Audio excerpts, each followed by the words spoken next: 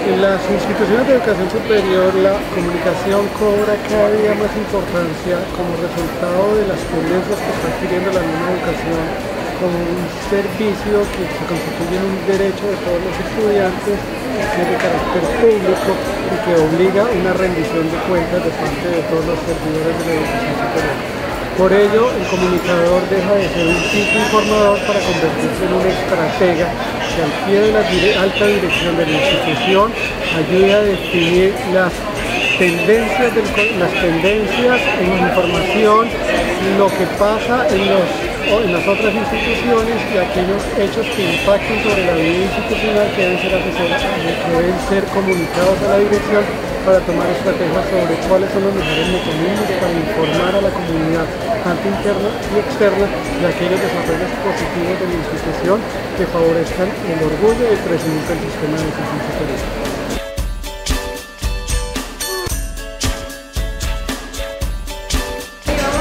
Bueno, básicamente son dos errores. Por un lado, quienes han trabajado el tema de comunicaciones lo han hecho abriéndose paso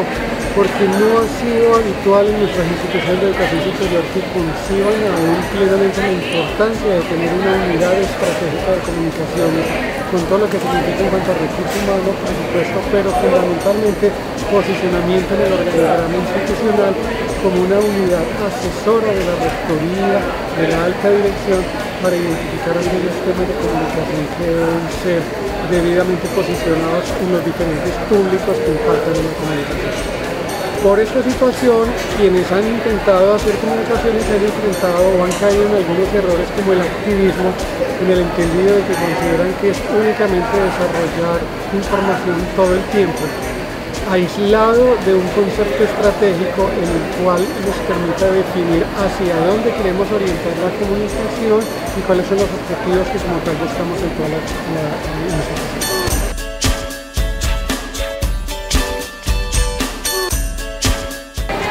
Bueno, eh, más allá de la misma tipología institucional, refiero a que eso es, es una necesidad tanto para las técnicas profesionales como para las tecnológicas, para las instituciones universitarias y las universidades. Lo fundamental es que esto ya, primero como hemos visto, la rendición de cuentas, la educación como un derecho, los modelos de autoevaluación, de acreditación, de registro calificado,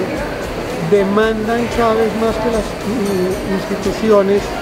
no solo sean transparentes, sino que comuniquen esa transparencia a todos sus públicos. Por eso la importancia de compartir buenas prácticas,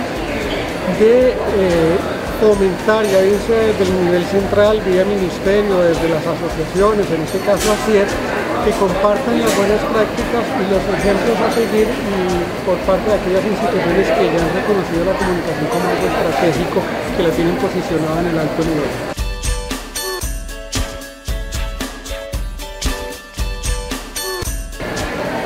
El, solo hecho de organizar el encuentro ya es el primer hit, el primer impacto, porque se necesitaba. En la historia reciente de la educación superior en Colombia y la verdad pues en lo que yo conozco el tema no había habido un encuentro como, como este en donde ya se comienza a configurar que la comunicación es una unidad propia y no es una actividad adicional, una actividad más que hace al pie de otra, otra cantidad de tareas y definitivamente a partir de ese impacto de empezar a identificar, compartir prácticas,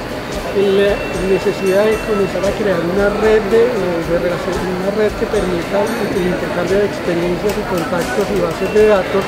para ir consolidando el tema de tal manera que el posicionamiento de la comunicación no sea una solicitud, sino que sea una realidad completa en todas las instituciones.